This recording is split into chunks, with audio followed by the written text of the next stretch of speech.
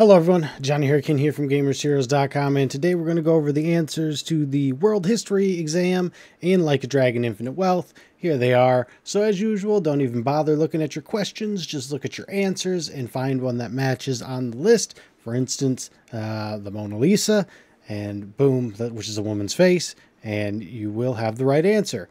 All you need to do is get three out of five correct, and you'll be good to go. The article is listed down below if you want to read it, so do that. Um, but that'll do it for me. If you liked what you saw and got what you needed, like, comment, subscribe. See you guys in the next video. Later, Gators.